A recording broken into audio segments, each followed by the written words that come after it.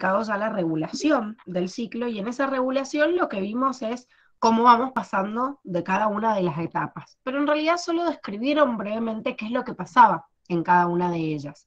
Y la verdad es que en G1, en la fase S y en G2 no vamos a ver más de lo que figuraba en este primer resumen, digamos, del ciclo celular. Lo que sí vamos a profundizar un poquito más es el proceso de división del núcleo y de división del citoplasma, ¿sí? Del proceso de cariocinesis y el proceso de citocinesis. Recuerden que ese proceso de cariocinesis o división del núcleo no es el mismo si yo estoy ante una célula somática o si estoy ante una célula sexual. Si el proceso se da en una célula somática, lo llamábamos mitosis, que es un proceso, por ejemplo, de reparación de los tejidos en un organismo pluricelular, pero también puede ser un método de reproducción del organismo también de forma asexual. Y el proceso de meiosis es una particularidad de una división sucesiva, porque son como dos ciclos juntos, y hago dos divisiones sucesivas, bien apretadas una con respecto a la otra, ¿sí? porque en realidad lo que yo quiero es reducir el material genético. Y esa reducción del material genético me va a servir para qué? Para formar gametas. ¿sí? Para reducirlo, formar las gametas y que las gametas luego se junten por fecundación y me den un nuevo organismo. O sea que nada más lo voy a utilizar en el proceso de reproducción sexual, previo al proceso de reproducción sexual, porque es solo la formación de la gameta. Lo que vamos a ver hoy entonces son estos dos temas, estos dos procesos de división celular, de cariocinesis, pero después de ver mitosis, que es como lo más común, vemos como el final del ciclo para poder completar el proceso de citocinesis también y la regulación en el tiempo del ciclo celular. ¿sí? O sea que el tema fuerte del ciclo celular lo vamos a ver hoy. Es como para darles un buen regalito y que se vayan con la cabeza llena de información antes de empezar el, fin de semana largo. ¿Vieron? No somos muy buenas con la Dani en el diseño. Em, lo, que van a, lo que van a poder hacer es de última estudiar un poquito el jueves y el viernes y ya después sí, uno se toma el fin de semana y sobre todo el domingo que se tienen que comer todo el chocolate de todos los huevos. Y ahí, bueno, reponemos y refrescamos la mente. Bueno, esta mitosis entonces que dijimos era la división del núcleo, o sea, proceso que se lo llama también cariocinesis. Ese proceso de división del, del núcleo que prepara cualquier célula que se va a dividir eh, somática del cuerpo, como dijimos, en una reproducción asexual, tiene distintas fases, que esas fases son las fases que uno ha visto, me imagino, desde la escuela secundaria. Quizás algunos no se acuerdan mucho de haberlo visto, pero deberían por lo menos haberlo visto en ciencias naturales en biología, ese proceso de mitosis. Esas cuatro fases se las llama profase, esperen que quería entrar alguien, ahí está. Eh, se las llama profase, metafase, anafase y telofase. ¿Alguno se acuerda? ¿Alguna mnemotecnia para acordarse del orden?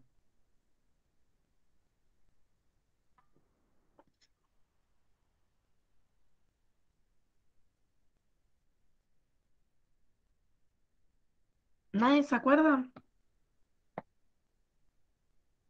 No, yo me las aprendí así cual. Así, así he corrido. Así tal cual. La idea, la idea es para que no se las olviden, porque si bien todas terminan con la palabra fase, por ahí en el orden uno sí se pierde y si se le confunde uno con otro en un múltiple opción puede ser uno de los motivos de error, ¿sí? Uno de los, no, no me acuerdo si en el apunte de clase creo que tienen alguna mnemotecnia, pero una de las mnemotecnias eh, que más se usa es prometo Ana telefonearte o prometo Ana llevarte al telo o papá, mamá, abuelos, tíos. ¿sí? O sea, cualquier, cualquier mnemotecnia, pues, si se ponen a googlear seguro que encuentran un montón más para que se acuerden del orden. O sea, la idea es que no se les vaya a confundir el orden, porque yo estoy preparando esa célula para, para dividirla, dividir finalmente ese material genético y volver a restituir lo que en la primera fase yo integré, digamos, en la célula, el aparato mitótico, para poder llevar a cabo la división de los cromosomas.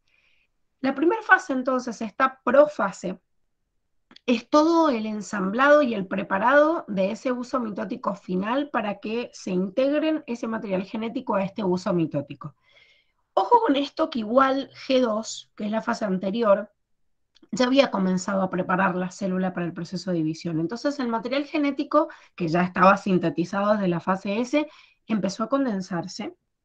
Además de empezar a condensarse, se empezó a ensamblar el uso mitótico, se empezaron a replicar los centríolos, que acá ya los vemos replicados. Entonces esto que acá está como por fase temprana sería como lo que empezó a realizarse desde G2 y yo ya puedo visualizar en la célula. Ya puedo visualizar la compactación. Fíjense que en la gráfica no está como tan compactado como se ve acá, pero ya puedo visualizar que están compactados, que se empezó a ensamblar el uso, que se replicaron los centríolos y todo esto se ordena hasta la finalización de la profase, en donde yo la célula la voy a ver de esta manera. Si hay centríolos que previamente se replicaron, se colocan en los polos. Y digo si hay centríolo porque esto sucede en una célula animal o en una célula de un protista que tenga movilidad, pero no pasan todas las células.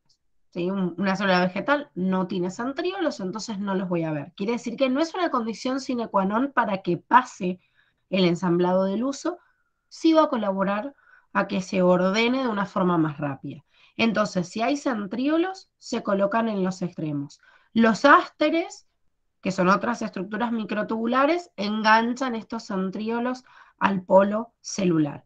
El uso mitótico atraviesa cada uno de los cinetocoros de los cromosomas y van a haber fibras también que van desde un lado hacia el otro, que las llamamos fibras polares, que van de un polo de la célula a otro y no hacia el cromosoma. Entonces tengo fibras polares, fibras cinetocóricas, pero me ensamblan todo la estructura del uso mitótico y obviamente me enganchan a cada uno de los cromosomas.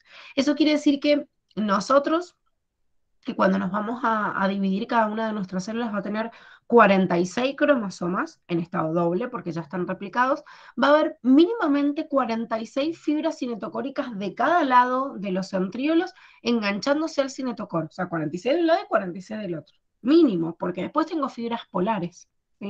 No es un número igual estático la cantidad de fibras que se forman en el uso, sí, las cinetocóricas, porque son las que se enganchan con el material. Puede ser que quede alguna cinetocórica colgada, como vemos esta acá, que se haya formado y después finalmente no se enganche, pero mínimo yo voy a usar, obviamente, la cantidad de cromosomas que tengo.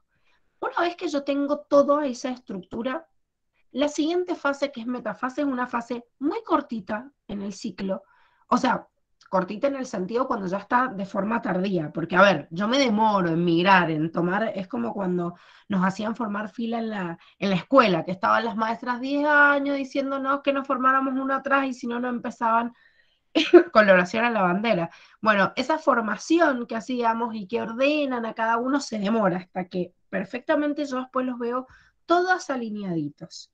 La metafase tardía dura nada, o sea, milésimas de segundo. Me demoro un ratito en ordenar, pero sin embargo es una fase bastante corta porque lo que yo tengo que hacer es ordenar en el polo ¿sí? los centríolos para que ensamblen a todas las fibras y en el ecuador de la célula, que sería la, la línea media, todos los cromosomas alineados, más o menos a la misma distancia de cada uno de los polos. Por eso se lo llama placa ecuatorial o, como dice ahí, placa metafásica.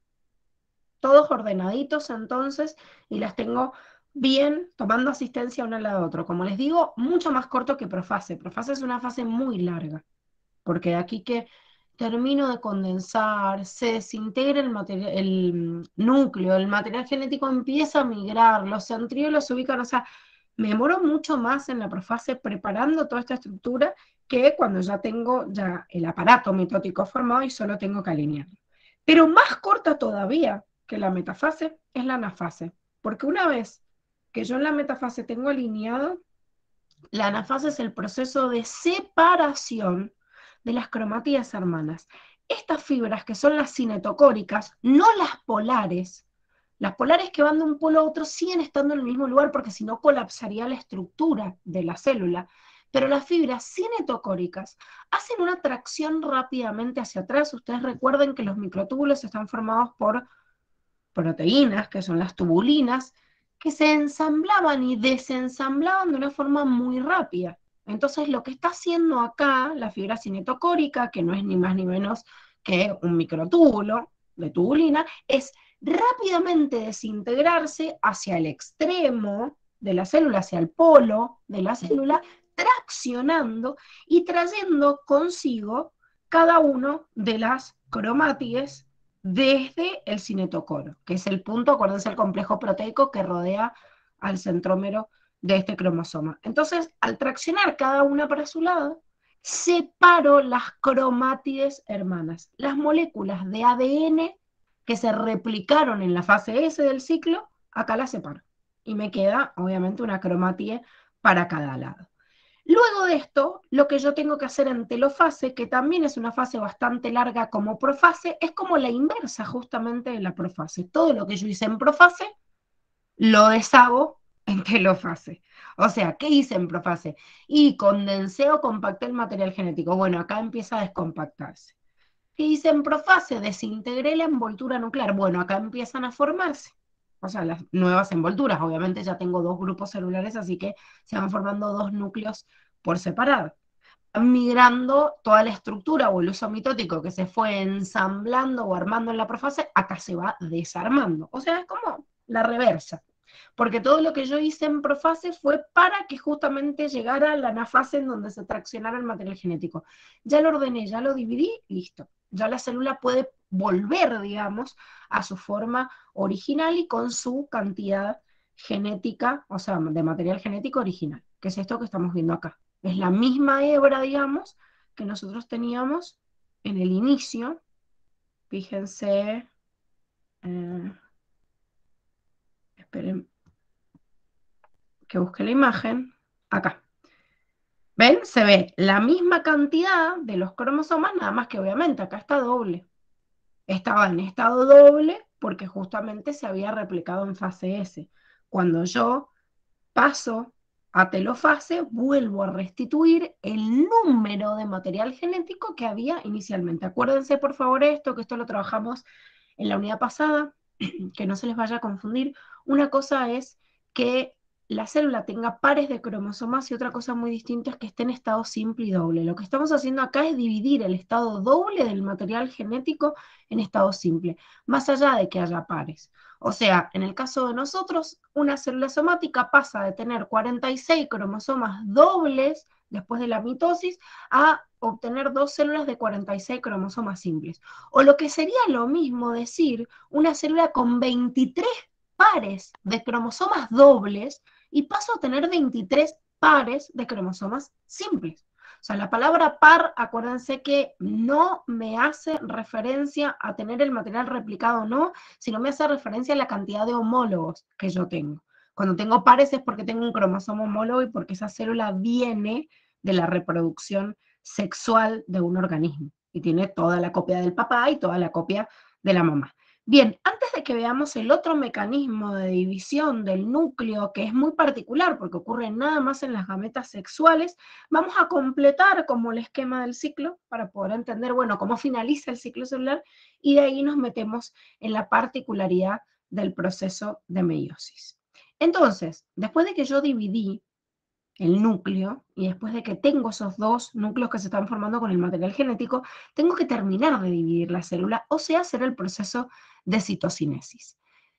¿Por qué lo separamos y lo estudiamos aparte? Porque hay células que hacen cariocinesis y no hacen citocinesis. Pasa excepcionalmente en determinados tipos de células, no es lo normal, pero pasa. Por ejemplo, las células, los miocitos que originan nuestras células musculares esqueléticas, son células que hacen muchas cariocinesis sin hacer citocinesis. Por eso aparecen células gigantes, multinucleadas, y digo gigantes porque para el tamaño microscópico que tiene una célula, imagínense que una célula muscular esquelética puede medir hasta 10 centímetros, o sea, postas son gigantes, obviamente de ancho siguen siendo microscópicas, pero digo, han crecido en tamaño un montón y es justamente por esto, porque han hecho muchas divisiones a repetición del núcleo, creció el citoplasma, hizo como todo el proceso, pero le faltó el proceso de citocinesis. Entonces, hay excepciones en donde se separan, pero es verdad que la mayoría de las veces hay cariocinesis y por ende también hay citocinesis. Es más, a veces se pega y se superpone a la telofase. Entonces a veces no puedo distinguir ni siquiera en una célula que está ocurriendo telofase y después la citocinesis es como que se mezcla con lo mismo. Entonces, ojo con esto, lo llamamos citocinesis porque es la división real del citoplasma, en tiempo muchas veces se superpone con el proceso de telofase, pero lo estudiamos por separado porque hay en células en donde puede que no ocurra, o puede que no ocurra en el mismo momento que telofase y ocurra un poco después. Entonces, lo individualizamos al proceso. Este proceso de división del citoplasma no es más que ya dividí lo más importante, que es el, núcleo, y bueno, ya medio como que la célula se va repartiendo, tipo, bueno, me quedo tres mitocondrias para acá, quédate tres para allá, y trato de ser equitativo para que las dos células queden lo más parecida posible, salvo que haya un condicionante en donde una célula realmente quiera quedarse más grande que la otra. Pero eso generalmente pasa en otros procesos de división como en la meiosis y generalmente no pasa en mitosis. Y siempre les voy a decir generalmente, porque si les digo siempre, les miento, chicos. Vieron que en biología existen excepciones siempre. O sea, siempre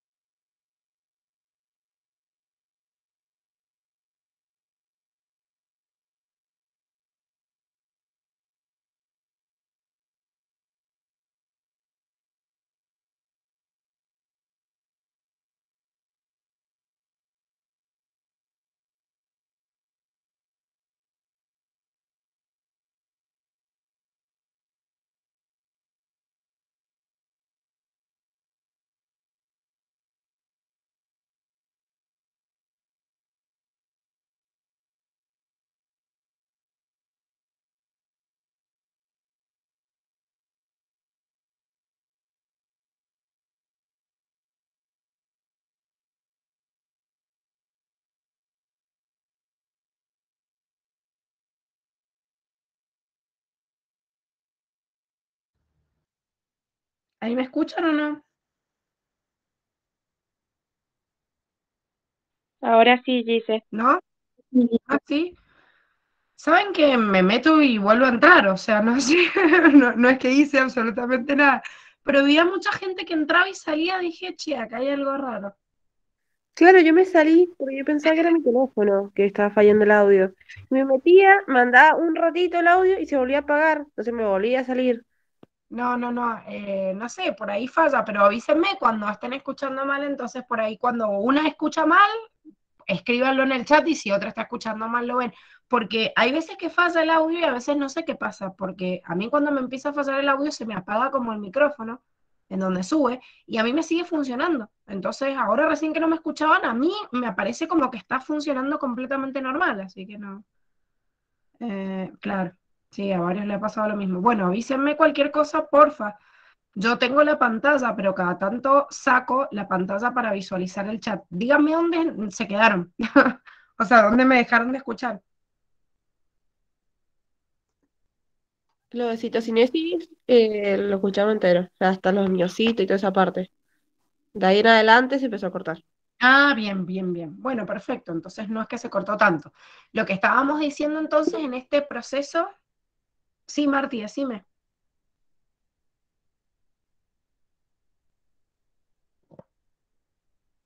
O ha levantado la mano así como por accidente. No, perdón, fue sin querer. Ah, bien. Bien, no hay problema.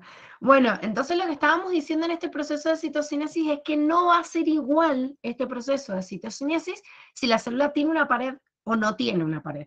Porque si tiene una pared celular, es como que está más limitada a hacer un proceso de división más ordenado para dividir equitativamente el contenido que hay en el interior de la célula, que la célula que no tiene pared es más fácil, porque como es como una gelatina, el citoplasma es como que estrangulo o intento apretar y más o menos dividir, como cuando uno divide un bollo de masa en dos, y no es muy complicado. Entonces, todas las células que no tienen pared, que son las células animales y algunas células de protistas, eh, que obviamente no tengan pared, que son móviles y son parecidas, generalmente los protozoarios, que son parecidas a las células animales, pueden hacer este proceso de división estrangulando directamente el citoplasma. ¿Quién permite este proceso de estrangulamiento? ¿Y quién regulaba la membrana por debajo? O sea, ¿qué había debajo de la membrana plasmática de todas las células reforzándola? El citoesqueleto. Bien, ¿y qué estructura del citoesqueleto?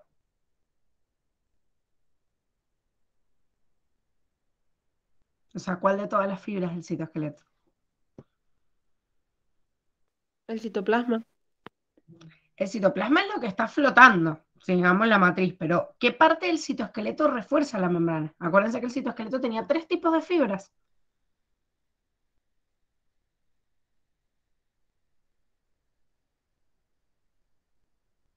De hacemos repaso de células. Mm, no, los microtúbulos Julie eran como los más grandes, entonces me sirven como rieles, son los que forman, por ejemplo, el uso mitótico, son los que sirven para formar estructuras como cilios y flagelos, o sea, son estructuras mucho más gruesas que permiten formar rieles más consistentes para el movimiento. Movimiento de la célula, movimiento de los cromosomas, movimiento de las mismas organelas en el interior.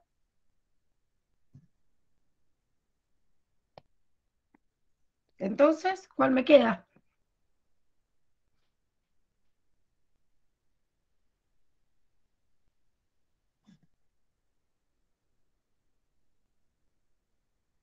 Bueno, veo que no se acuerdan, esto es importantísimo, ¿sí? Así que anotado, así apuntado para el fin de semana repasar también las funciones del citoesqueleto. Las fibras del citoesqueleto que refuerzan toda la parte interna de las membranas de las células son los filamentos de actina. Forman masas muy resistentes. Incluso cuando se forma una microvellosidad, como en el ejemplo, en el dibujito que tenían en célula, se está formando por todo el pliegue interno que forman estos filamentos de actina, que eran los más chiquititos. ¿sí? Los filamentos de actina eran los que medían 6 nanómetros de diámetro porque está formado nada más por un dímero de actina. Estos filamentos de actina son los responsables justamente de manejar toda la de formar una microvellosidad o de hacer que la célula se desplace a través de pseudopos o falsos pies, y también son responsables de la división, o sea, la citocinesis de estas células que no tienen núcleo, ¿sí? como la célula animal. Entonces, se estrangula gracias justamente a estos filamentos de actina. ¿Sí? El estrangulamiento es un, digamos, acople rápido y luego desacople a otro lado de los filamentos de actina que refuerzan por dentro a esa membrana plástica. Los mismos ¿qué pasa con las células que tienen pared? Y bueno, lo puedo estrangular tan fácil porque reviento toda la estructura de la pared, entonces no puedo. Se tiene que ir formando una plaquita en el medio que me termine de separar esta estructura mucho más rígida, que no la puedo estrangular porque se fractura. Dice, se está, sí, Puede ser que se está dejando por de la escuchar. consistencia que tiene. Entonces se forma Sí, igual debe ser el wifi, dice, porque es como que se escucha entrecortado, como que falta la conexión. Puede ser, pero encima tengo la conexión al palo, no sé por qué. A ver si cambio la red. Espérenme.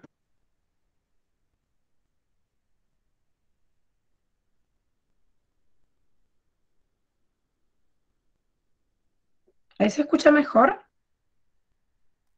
Sí, ¿Sí? Bueno, veremos si dura. Ah, lo que pasa es que tengo tres conexiones en, en mi casa y por ahí agarra una red, por ahí otra y cuando cambia, no sé, porque se le canta, por ahí se corta. Bueno, avísenme si se vuelve a, a cortar. Entonces, ¿qué pasa con esta célula vegetal? ¿Cómo forma esta placa celular? ¿Se acuerdan cómo estaba formada la pared de las células vegetales? Por la laminina, la laminilla media. bien. Bien, ¿y esa laminilla media cómo estaba formada?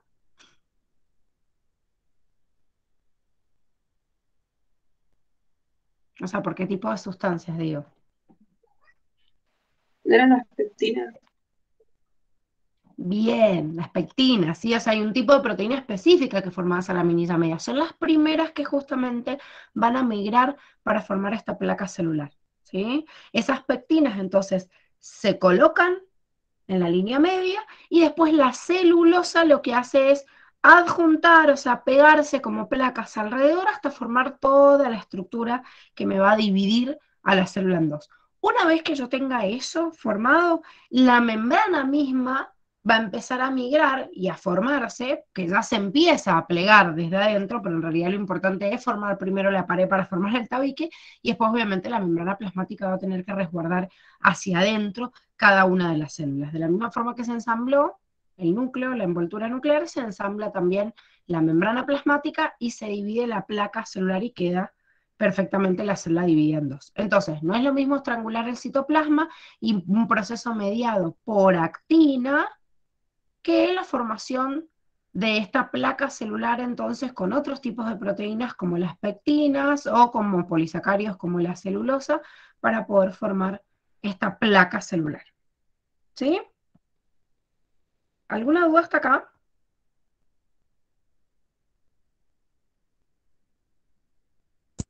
No, no. ¿No? No, Gise. Bueno, perfecto. Entonces, una vez que yo dividí a la célula en dos, tengo dos células nuevas y vuelvo a comenzar un nuevo ciclo, y así todos los ciclos celulares llegarían hasta el momento en el cual la célula se puede dividir y generar dos células bebé. Salvo que ya se haya dividido tanta cantidad de veces que la célula ya esté vieja. ¿Qué es lo que me marcaba el envejecimiento de la célula? El, ac- el del hombro.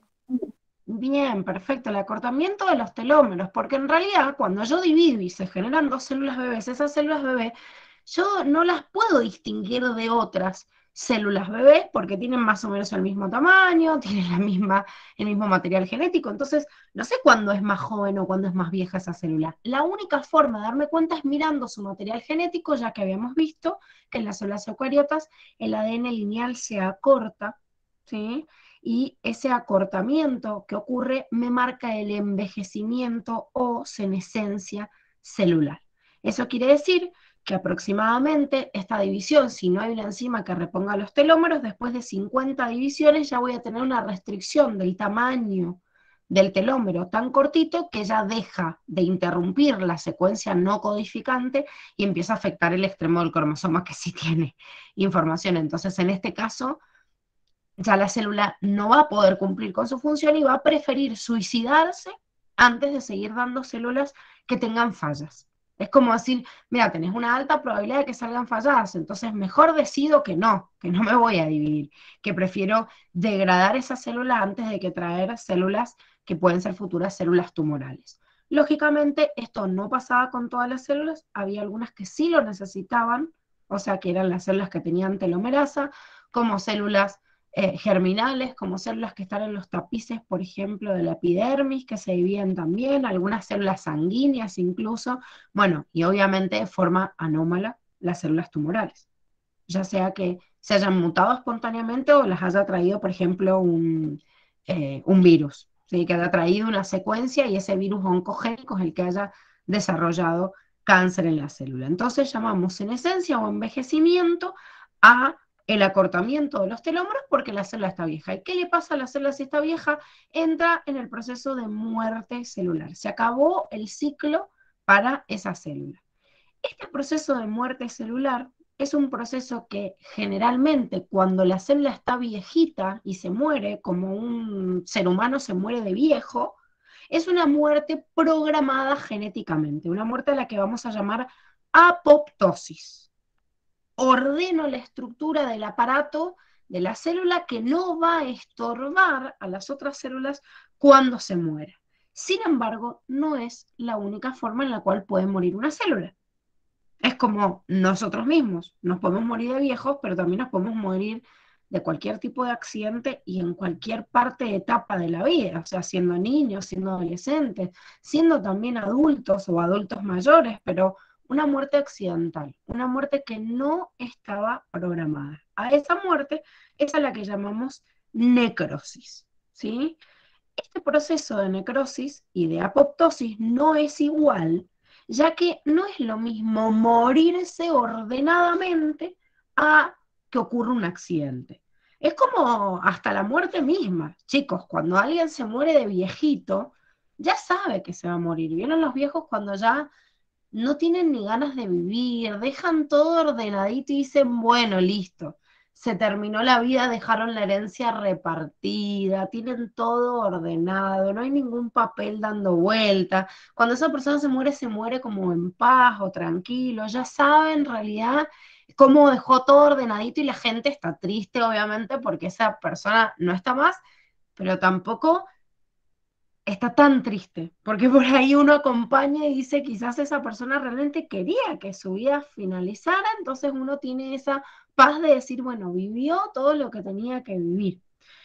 La apoptosis es eso, es una, una muerte silenciosa, una muerte ordenando, donde la célula se va, se va haciendo chiquitita y va como engullendo sus propios componentes, sus propios lisosomas endocitan los componentes internos y van formando como bolsitas de basura o de residuo que se llaman cuerpos residuales y que después puede llevárselo a alguna célula del sistema inmune y se encogió, se achicó, se redujo a esos cuerpos apoptóticos y nadie se enteró su desaparición, pues se fueron acomodando las otras células en su espacio. O sea que se hace chiquitita y termina desgranándose, digamos, o desapareciendo, sin generar ningún tipo de impacto en las células vecinas.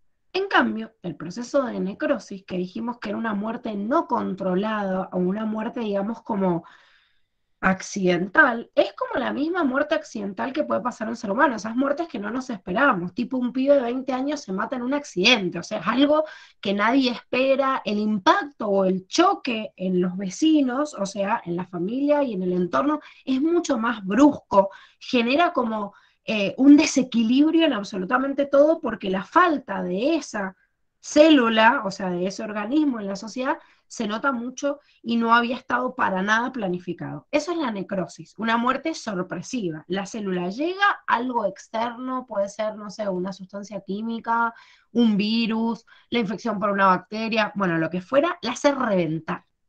Entonces esa célula se llena de, de agua, se hincha, explota, si hay algún contenido químico o biológico nocivo, lo esparce para las células vecinas y también afecta a las vecinas. ¿sí? Entonces, también incluso las células vecinas se pueden morir por necrosis. De hecho, cuando hay una necrosis no controlada, no solo de una célula, sino un conjunto de células, cuando es muy grande, la necrosis muy grande en muchos tejidos es lo que conocemos como gangrena. O sea, la gangrena es cuando se murió todo un tejido, cuando ya no lo puedo salvar y, y generalmente esa, esa parte del cuerpo se tiene que amputar o sea, sacarse porque ya no tengo forma de reparar ese tejido. Se murieron tanta cantidad que no lo puedo controlar. Entonces, esa es la diferencia entre apoptosis y necrosis. La necrosis no podemos hablar de un mecanismo específico o de una función específica y un mecanismo para llevar a cabo su función porque justamente es una muerte accidental. No debería haber ocurrido. Ocurrió porque pasó otra cosa que no estaba controlada en el organismo, pero es una muerte accidental. La apoptosis, en cambio, va a cumplir funciones muy importantes, porque al ser una, una muerte programada, está programada para que suceda por algo. Y no solo aquel que se muere de viejito, o sea, la célula que se muere de viejita porque se le cortó los telómeros, sino que además de eso la apoptosis o muerte controlada o programada a veces me sirve para otras funciones importantes y no solo para marcarme que la célula está vieja. El proceso de apoptosis también moldea órganos en procesos de crecimiento y desarrollo. Por ejemplo, acá tienen un ejemplo de controlar la forma de algunos órganos. Por ejemplo, vieron las manitos, cuando el bebé va a desarrollar sus, sus manos, tiene como membranas interdigitales, como si fuéramos patos, digamos. O sea, como que todos los deditos están unidos unos con respecto al otro. Y esas membranas interdigitales se van muriendo, se van como carcomiendo y tallando la forma del dedo. ¿sí? Y eso es un crecimiento primero celular, que hubo una replicación masiva y ahora hay una muerte masiva, o sea, por apoptosis, para moldear ese pedacito del tejido. Puede darle también forma a otros órganos, por ejemplo, el hígado puede ser una masa toda deformada en el bebé cuando se está desarrollando y después adoptar la forma que tiene el hígado fetal. Eh, o matar a neuronas mientras que se va desarrollando el sistema nervioso que tengan alguna falla, o, a células de distintos tejidos, por ejemplo, en la modulación de linfocitos o en la modulación de glóbulos rojos, lo que fuera. O sea que no es solo en la muerte o en esencia, sino que es un proceso ordenado en el cual yo necesito que esas células ahí se mueran, digamos, ¿sí? Porque no están aportando a la función del tejido en sí. Y como es un proceso ordenado, está ordenado gracias a enzimas que controlan, mediante una cascada, este proceso apoptótico. ¿sí? Estas enzimas se llaman caspasas.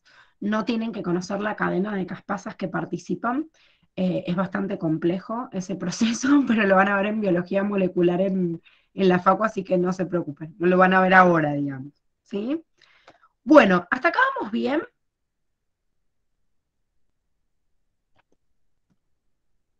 Sí, Gise.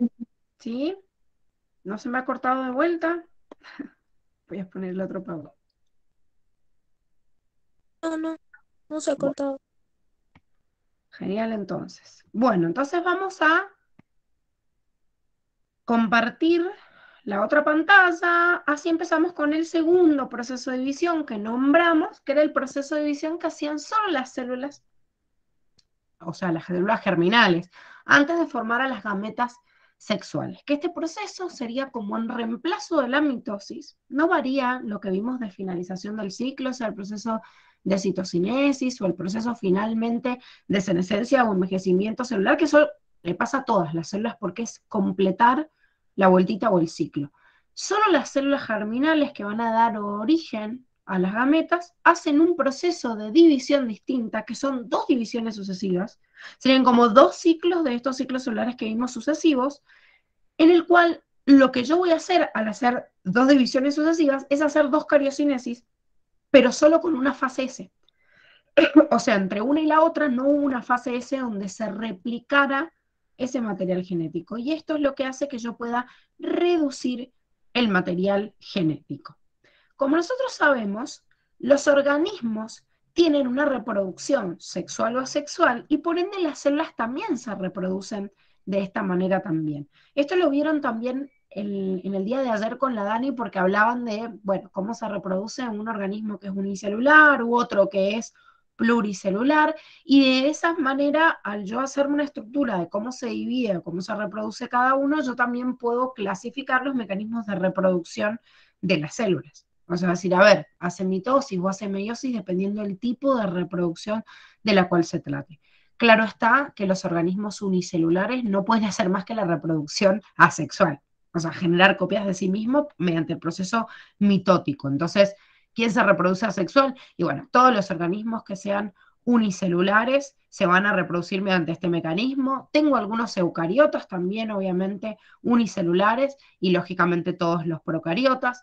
Eh, hay plantas que, por ejemplo, se van a propagar a través de propágulos por raíz o por eh, tallo, que son los estolones y los rizomas. O sea, los rizomas son como reproducciones asexuales por mitosis de las raíces que van extendiéndose y crece otra planta a partir de la misma raíz. Y se sigue estirando la raíz y crece otro. Y estolones son la propagación de la misma forma, pero de los tallos, de tallos que van dividiéndose y creando, como que parecen plantas nuevas, pero en realidad siguen saliendo de la misma por reproducción asexual. También existe la reproducción por gemación, o sea, saco una pequeña gemita de la división y de ahí de ese brote nace un individuo completamente distinto, desprendiendo un pedazo. Es la forma en la que se reproducen las hidras, por ejemplo, que es un tipo eh, bueno, esto lo vamos a ver un poquito más adelante, incluso en ecología tenemos algunos dibujos bastante más bonitos de la hidra, que es un tipo de animal como bastante precario, pero no solo en animales, sino que, olvídense, en protistas existen un montón de otros eh, procesos de división asexual también para darme origen a individuos iguales. Entonces, es muy común en la naturaleza pero también es bastante común la reproducción sexual que alcanzaron aquellas células que pudieran formarse, organismos pluricelulares, que pudieran formarse a través de la unión de una gameta femenina y de una gameta masculina. Y es importante este proceso de división sexual porque la primera vez que apareció tuvo un éxito reproductivo muy grande porque genera variabilidad genética. O sea, de esa división cuando dos individuos se unen y forman uno nuevo, nace un individuo que tiene una información genética parecida, pero no exactamente igual a ninguno de los dos progenitores. Y es lo que lleva a la diversidad. Si no, imagínense que si no existiera la reproducción sexual, nosotros teníamos copias idénticas de nuestros progenitores.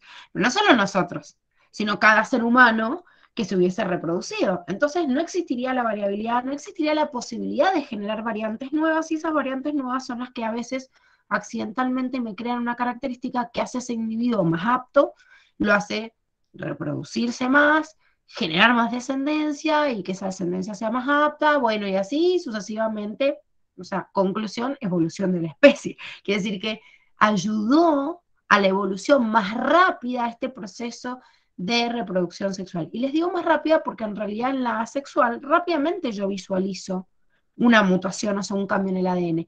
Pero como es tan rápido, tan brusco el cambio que yo observo, como la mayoría de las mutaciones son anómalas y no me generan características positivas, sino negativas, generalmente llevan a la muerte de esta, o sea, variante, y no a que pasen, digamos, con éxito a la siguiente generación. Lógicamente son estrategias de reproducción distintas. Las bacterias vienen reproduciéndose asexualmente, igual han fracasado un montón de mutaciones que han frenado, pero aún así tienen nuestro respeto porque llevan 3.500 millones de años de evolución. O sea, bueno, listo, alguna forma hicieron para ingeniárselas. Pero como ha crecido tanto la reproducción sexual en tantas especies, se supone que en este avance de variabilidad genética han tenido mucho más peso que la reproducción sexual y eh, asexual y por eso han tenido, obviamente, tanto éxito en la naturaleza, las formas que aparecieron. Entonces, ¿Qué es lo que yo necesito en este proceso de reproducción sexual? Generar variabilidad, porque si no, no tendría fundamento en sí hacer una doble replicación y gastar un montón de energía si en realidad hubiese hecho una reproducción asexual que era más fácil. Tengo que tener un fundamento. Cuando se trató de buscar este fundamento es, si voy a hacer dos divisiones y me voy a gastar tanta energía en hacer esto, tiene que ser por algo. Si no, chicos, les aviso que podríamos haber hecho dos mitosis repetidas, una al lado de la otra, generar exactamente lo mismo división y solo dividirla a la mitad. O sea, tener la mitad de la dotación del material genético y chao. Entonces uno después piensa y dice, bueno, ¿y para qué haría eso? O sea, ¿para qué dividiría y volvería a juntar si no tengo ninguna ventaja con respecto a la reproducción mitótica?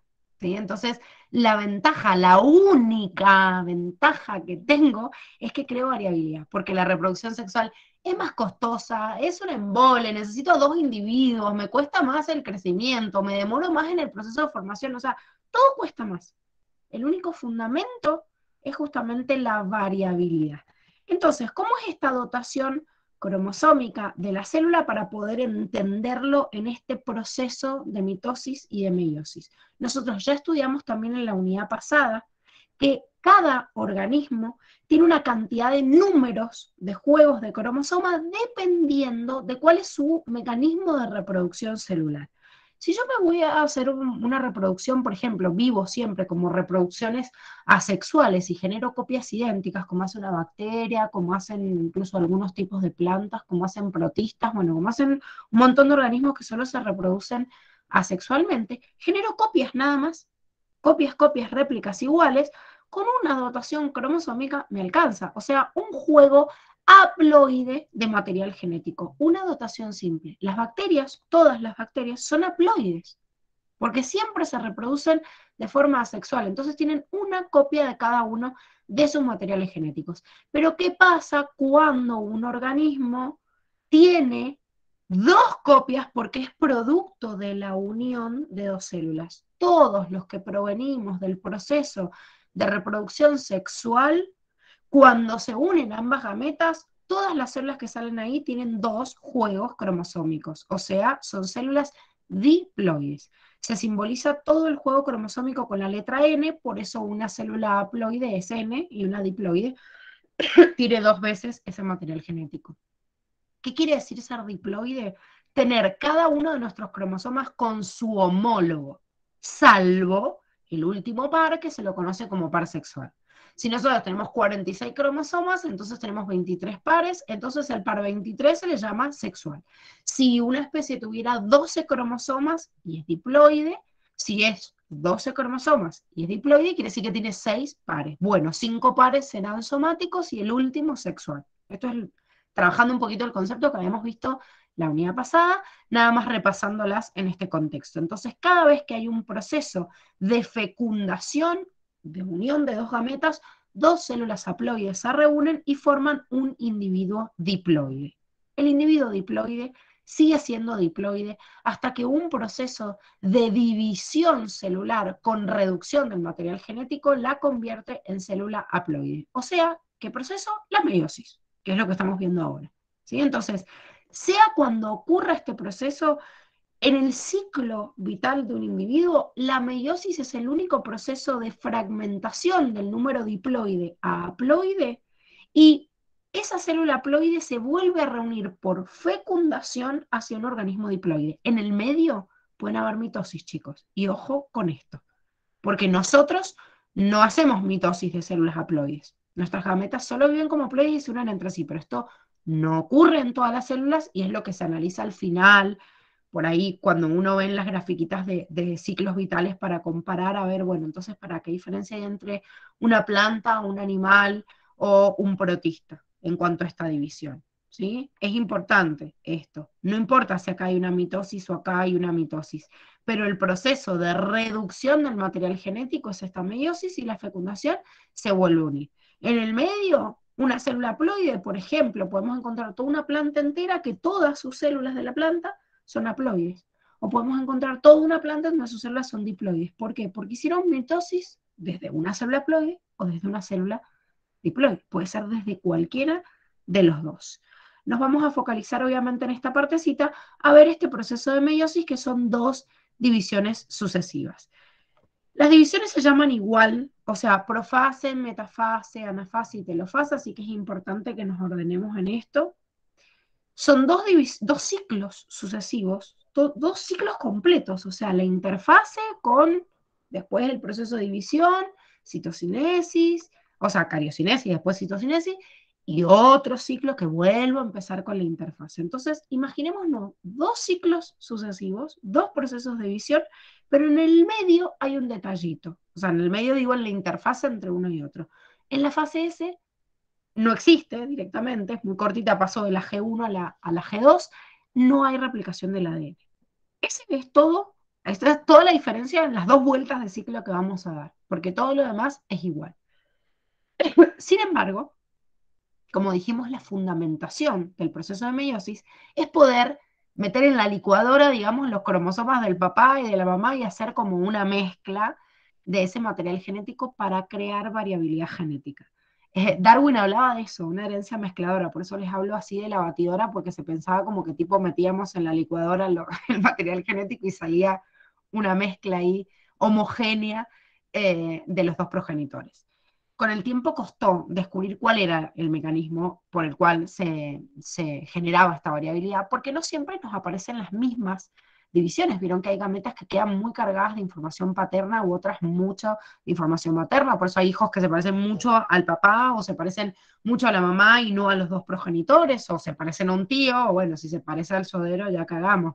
Pero bueno, generalmente tienen un parecido y no algo exactamente igual, pero tienen más carga de uno que de otro.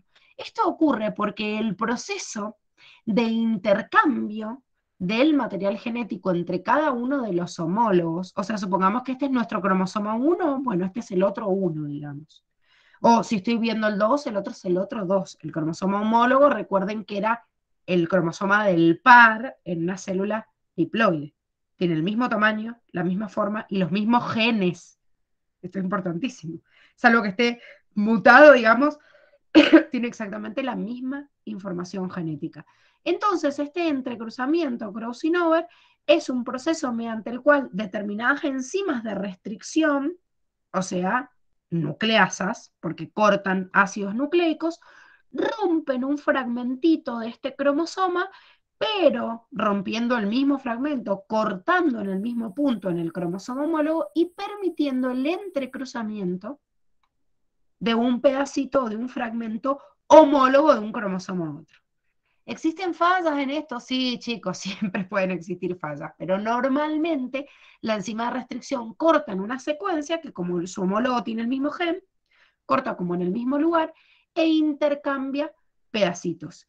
Este, este evento y que en la fase S no haya replicación en la segunda vuelta son los dos eventos que me condicionan que la meiosis sea distinta que una mitosis, ¿sí? dos divisiones sucesivas para reducir el material genético y un entrecruzamiento de cromosomas homólogos para generar ahora, digamos, cromátides que son hermanas pero no son tan hermanas. O bueno, las podría llamar hermanas porque son parecidas, pero ya no son iguales. Recuerden que cada uno de estos cromosomas tenía esto con esto, que era su cromátida hermana copiada a través de la replicación del ADN y una copia exacta, perfecta que era la que se separaba en la anafase de la mitosis. ¿Qué pasa en este entrecruzamiento y crossing over? Al generar estos pedacitos o estos intercambios, si bien un cromosoma con el otro tiene la misma información en genes, la variante de ese gen sí es distinto. Si este cromosoma acá me dice, por ejemplo, el color de ojos, no sé, celeste, acá también me decía color de ojos celestes. ¿sí? Porque, y porque era una réplica, entonces acá y acá estaba la misma información.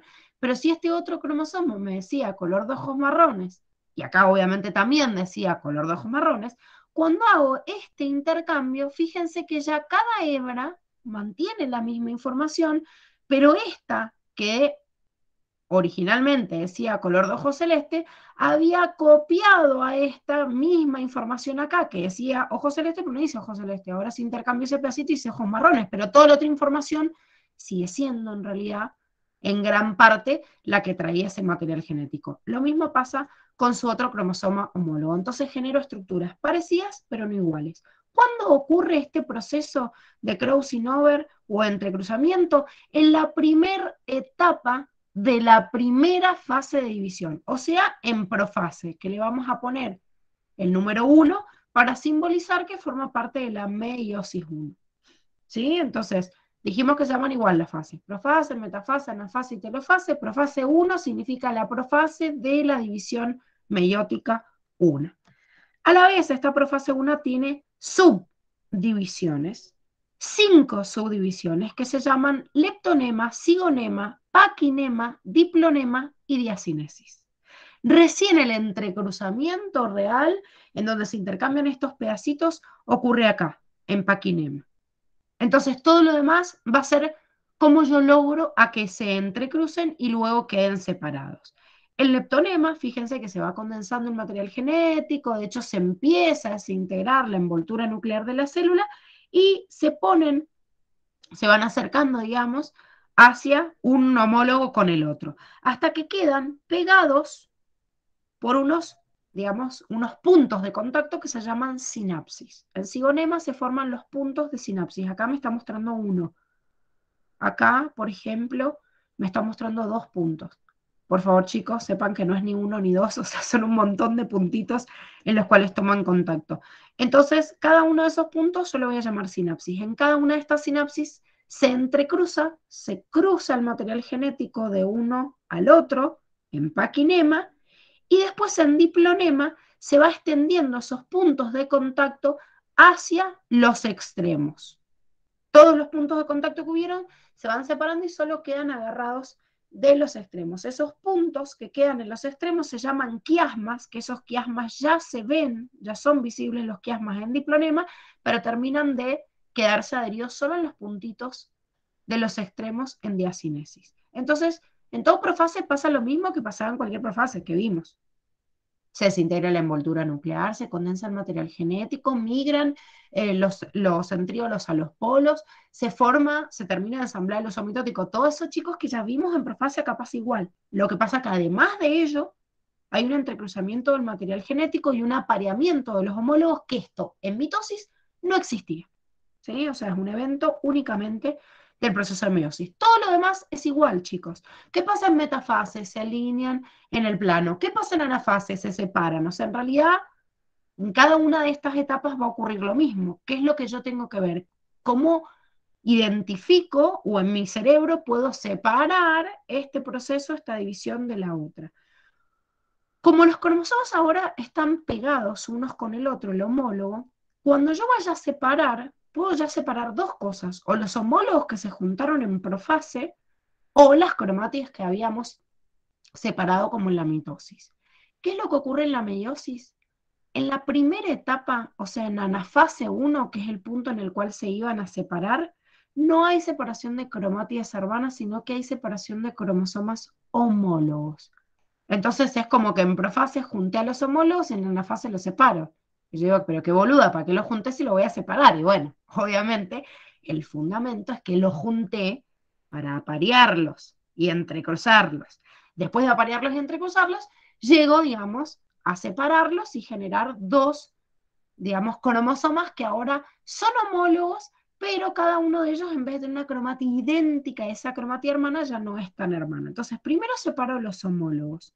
Y después, en anafase 2, voy a separar las cromátides hermanas. Por eso decimos que meiosis 1 es un evento reduccional, en donde yo ya hago una reducción del material genético, porque al separar los homólogos, por ejemplo, si nosotros teníamos 23 pares de cromosomas dobles o 46 cromosomas dobles, cuando se ensamblen o se enganchen unas con otras, me voy a quedar con 23 tetradas o 23 estructuras que tienen cuatro hebras, o sea, cuatro moléculas de ADN, que cuando yo separe los homólogos me voy a quedar con esas crucecitas que me marcan el cromosoma como homólogo, me voy a quedar con 23 cromosomas dobles, pero ya son 23. O sea que en la primera reducción yo ya paso de una célula diploide a una célula ploide. Y en la segunda meiosis puedo hacer una división ecuacional en la cual la célula que tiene el material doble pasa a tenerlo simple de la misma manera que habíamos visto en mitosis. Entonces, fíjense, veámoslo en dibujitos. Fases de meiosis 1. ¿Qué pasaba en profase 1? Y bueno, todo lo mismo que en cualquier profase. Se desintegra la envoltura nuclear, se arma el uso mitótico, se eh, colocan los centríolos en los polos, se ensamblan con el... Lo mismo que habíamos visto en mitosis, pero ¿Cuál es la diferencia? Se hace el entrecruzamiento Krausinov, el intercambio de pedacitos entre homólogos, el apareamiento entre homólogos. Fíjense, este era el mismo dibujito que teníamos de la mitosis, se veían los cuatro cromosomas individuales, como las 4X así, que a la vez eran ocho moléculas de ADN. Bueno, acá tengo apareamiento de homólogos. ¿Sí? Apareamiento de homólogos, apareamiento de homólogos. ¿Qué pasa en metafase 1? Se alinean en el plano, igual, pero ¿qué se alinean? Los pares de homólogos, ¿sí? que están uno al ladito del otro. ¿Qué pasa entonces en anafase 1? No se separan las cromátides, se separan los cromosomas homólogos. ¿Sí? Fíjense la diferencia, por favor. Ah, es que la otra gráfica, bueno, da igual, no importa, porque le voy a decir a la Dani que les haga el dibujito, que en la pizarra por ahí se ve mejor, para que comparen cada uno tienen un ejercicio en el práctico para comparar el mismo tipo de célula y que no se pierdan, pero pónganse con este dibujito, están en la punta de clase, Cuando ven esta profase en una mitosis, todas estas estructuras están separadas. Entonces, cuando yo separo acá, lo que veo es que cada una de estas X, que son como 4X cada cromosoma, separan las hebras, pero lo que está separando son cuatro pliegues de fibras cinetocóricas. Fíjense que acá están dos nada más, en esta célula hipotética que hemos elegido, que tiene su número diploide número 4. Entonces, ya tengo una reducción. Es una célula diploide 4 y fíjense que ya estoy separando y tengo dos cromosomas dobles todavía, pero dos cromosomas por un lado y dos cromosomas por el otro. Eso es lo que hago en las fases de meiosis 1. Pasar de una célula que es diploide hacia una célula haploide. ¿Qué pasa en telofase? Lo mismo que pasaba en cada una de las telofases. Se vuelve a ensamblar el, núcleo, se separan en las dos células vecinas, o sea, todo lo demás es exactamente igual. ¿Qué pasa en meiosis 2? En meiosis 2 es como una mitosis Nada más que la única diferencia es que yo partí con una célula que ya tiene reducido su material genético, bueno, y obviamente sus cromátides hermanas no son tan hermanas, porque tienen una diferencia. Pero eso ocurre en la meiosis 2. En la meiosis 2, en profase 2 ocurre lo mismo, se ensambla el uso, se forman eh, los centríolos, se colocan en los polos, se desintegra la envoltura que se, se armó encima en la telofase. O sea, fíjense que voy a producir todo lo otro y vuelvo a desarmar lo mismo que quedó acá. Pero fíjense, esta célula en telofase que se terminó de dividir pasa también por una fase G1, acuérdense que la S no existía, por una fase G2, que son muy cortitas, pero también hay una interfase antes de entrar en la segunda división. ¿Qué pasa en metafase? Se alinean también en el plano ecuatorial. ¿Y cuál es la diferencia de anafase 2 con respecto a anafase 1? Que ahora de vuelta en anafase 2, como lo hacíamos en mitosis, separo cromátides hermanas. No tan hermanas, porque ya tenían esos pedacitos distintos, pero ya está la hebra solita. Entonces, al estar la hebra solita, cada una de ellas se dividió y cada uno de esos cromosomas son parecidos, pero no son iguales. Entonces, cuando termino telofase 2, ya hice una reducción del material genético. Si esta célula originalmente, como veamos acá, su número diploide era 4, quiere decir, al haber pasado por una fase S, en vez de 4 tenía 8, digamos, moléculas de ADN.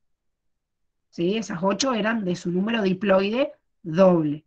Bueno, ¿qué pasa cuando termina toda la división de esos 8? Quedan 2 en cada uno, o sea, un número haploide de cada uno, y cada una de ellas es distinta con respecto a la otra. De esa manera, al ser distinta con respecto a la otra, generé justamente cuatro gametas a partir de cada célula que previamente pasó por una fase S y replicó su material genético. Miren, yo les voy a pasar un videito de las diferencias entre estos dos, entre la mitosis y la meiosis, para que las puedan comparar.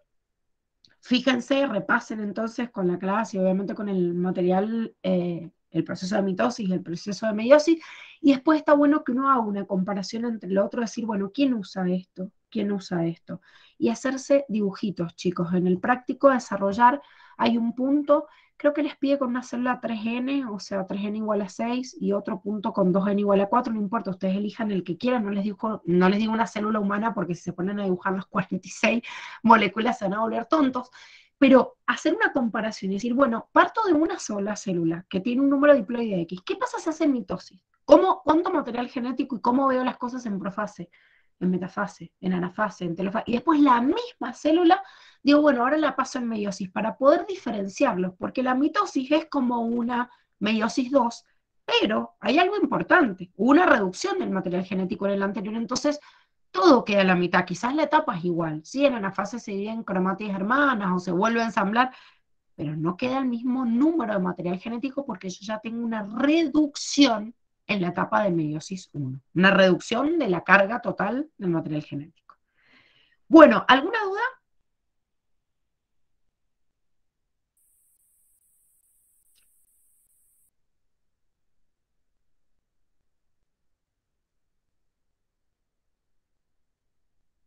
¿No? Bueno, me alegro entonces. Em, la próxima clase con Dani van a hacer, o sea, van a refrescar